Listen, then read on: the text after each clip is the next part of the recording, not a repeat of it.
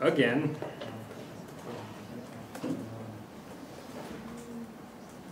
by the way, if you have questions, uh, you can ask anytime.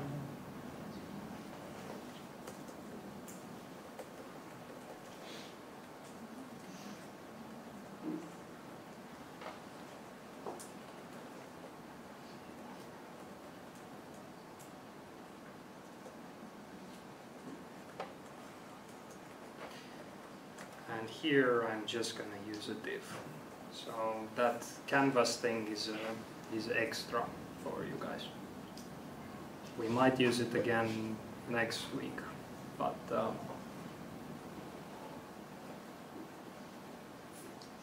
it's kind of a rudimentary way of, of displaying things still. We will use maps and other, other stuff later on.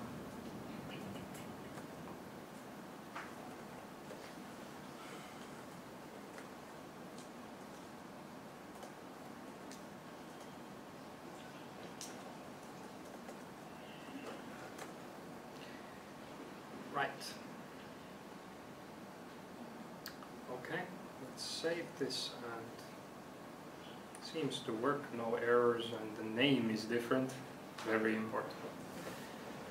Um, yeah, so let's see how we get the geolocation. Actually don't remember this almost. Yeah, but anyway, so this one is also able to, you, you're also able to get the geolocation. Um, similarly as how we got the accelerometer information with this new HTML5 uh, objects there. So let's start with an object that will contain this, uh, this geolocation. I initialize it to null at the beginning and now we are going to check if it is possible to get this information. So it may be that your device is not capable of getting location. So I need to check is it uh, possible to do that. It's not mandatory to do it because before I didn't check if I can get the accelerometer from the from the computer and it still kind of worked. But this is good practice and uh, I have now a bit of time to, to show it and we do it now.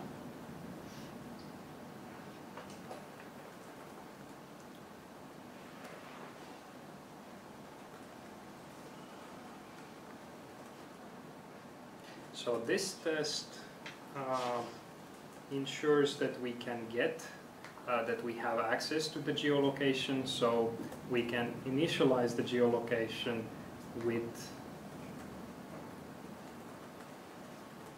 something from this HTML5 that gives us the geolocation. And now if we have the um, geolocation existing and it's not null, so we, we have a success. Maybe we can prepare also an else here, but I'm not going to, cover it, so that would mean give a warning to the user.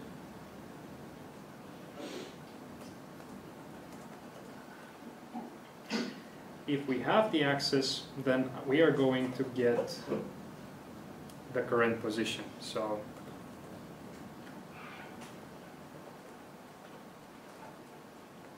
And again, this is going to be another callback function like before. Let's call it onLocation update.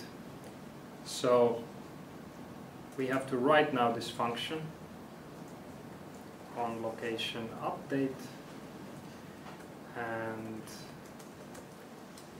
yes and this event is again going to contain um, the information that we want to display and it will look very similar to the output from before so let's just call it let's call it div this, this time and say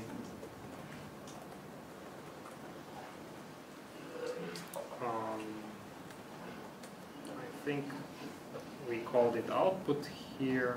Yes. So in this div we are going to put the again the properties of this event so I'm actually going to go back and uh, copy this code so I don't write it again.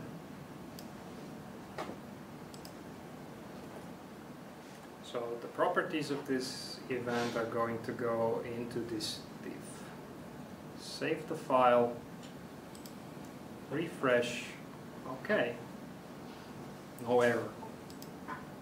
Again, some time that timestamp that goes on and on, but this coordinates, um, this means it's an array. And the properties of this of this uh, of these coordinates object. Uh, okay, there is no pretty printing of this array contents. So I will explain what, what that means. I'm going to uh, use another another tool from the browser to inspect the uh, properties of this event. You can actually log the properties of this event to the console so that means that when I refresh here, I'm going to get a print here in the console with basically the same information, but here I have the possibility to inspect these, these properties of this array. So here this printing is just not good enough. So I am getting some latitude and longitude. They are the values that uh, you can use to, um, to, to identify your location on the earth. But how am I getting this? Because I have this, this laptop here.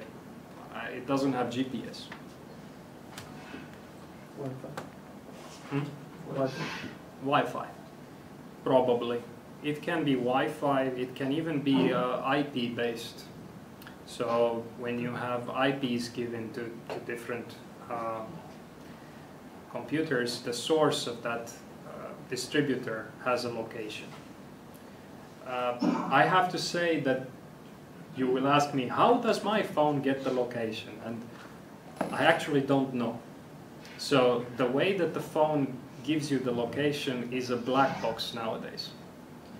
I had experience with these uh, Symbian phones, these, um, these uh, Nokia phones, before these smartphones became popular.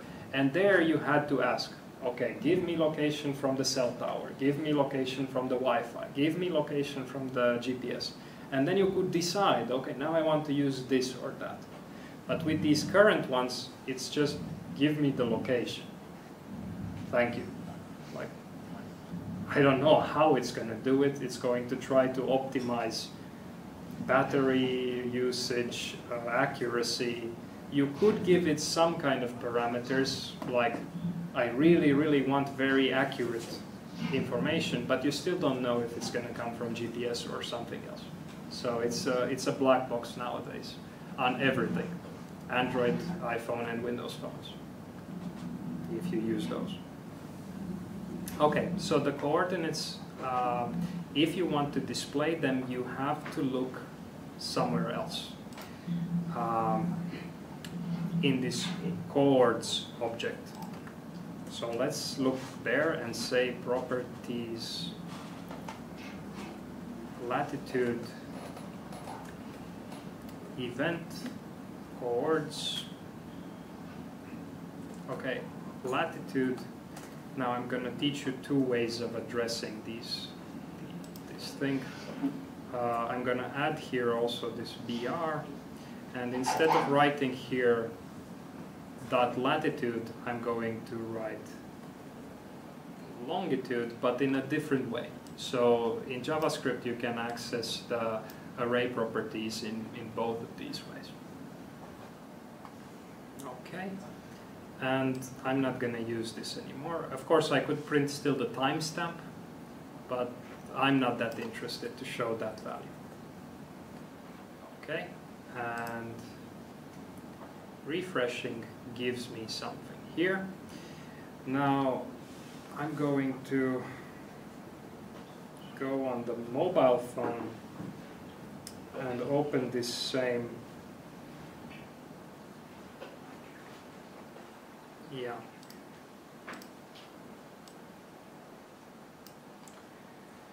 and I'm gonna zoom in a bit so I'm standing here on the same chair, but the numbers are not the same. So the difference is here. This 1 after the 8, here is a 3, and of course everything after that. This phone is probably getting the location from something else than my laptop is at the moment. It could be the Wi-Fi that I'm connected to, or it might actually use uh, um, the cell towers or something else. I'm not sure what it's doing, but it is using something else than, uh, than the computer, otherwise I would have the same numbers there. Okay.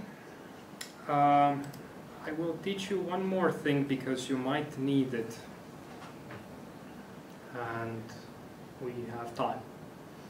So this is how you get the location when you call that function, but it's not going to update your location. So let's say that you want to make a tracking app, uh, an app where you want to record your location every, every time it changes, basically. So I already have the function that records it, this onLocation update. It it records it on the screen, but it records it nonetheless. Uh, and I'm going to update the code so that it updates this value as the location is going to change. So to do that, instead of just calling this get current position, you can call watch position. I will give it the same function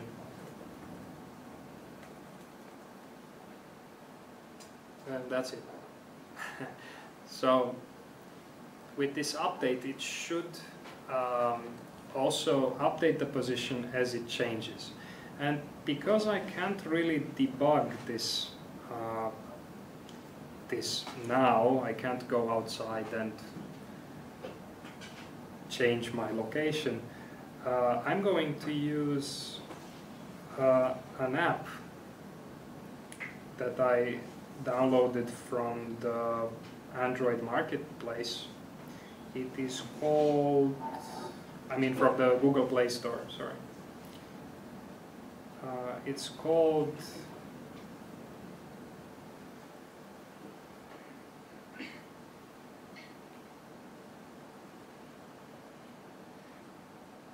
Yeah, it's called um, GPS joystick and it basically looks like this. So I loaded the page again and this joystick thing is actually moving my location. It's making a fake location for my for my phone. And it's moving it in some direction with walking speed. I can uh, modify the speed from these bottom buttons, so walking, running, I don't know what the last one is. yeah, anyway, it, it helps if you plan to build these kind of location-based applications if you don't want to debug every time by going outside and, and running.